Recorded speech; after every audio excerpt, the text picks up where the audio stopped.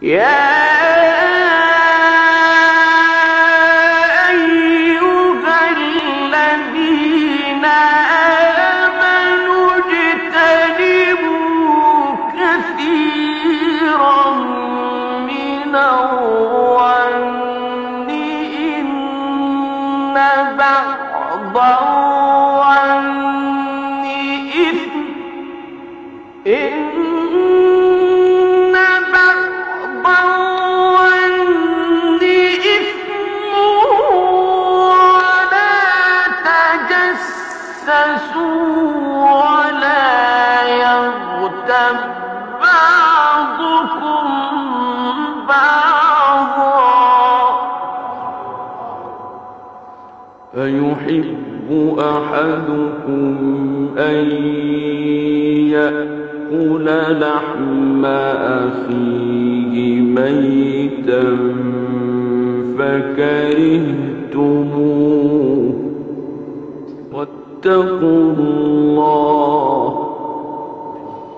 إن الله تواب رحيم